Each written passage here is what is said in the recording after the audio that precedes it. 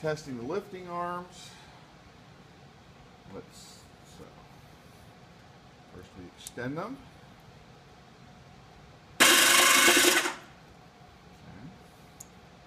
And we retract them. When we retract them, they run on that stop. And that's it. So let's do that one more time. Extending the lifting arms. About 10 or 11 amps. Bringing them back.